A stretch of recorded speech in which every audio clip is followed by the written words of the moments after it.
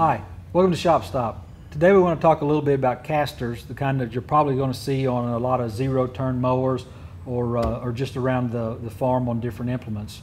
Yeah, primarily what we want to do is talk about trying to keep these freed up uh, and keep from running your turf. Yeah, one of the things that you'll know is, is most of them will have a grease circle on it, and this is off of a, a student design project here at the university, but these things really need to be able to spin freely like this, uh, and uh, because if they don't, then uh, they're not going to operate like they're designed to. So, uh, so keeping them, uh, if you got it on your mower, take it apart, clean it out, get it, uh, get it fixed up and, and clean and re-greased for the season, and it'll be a lot easier on your lawn.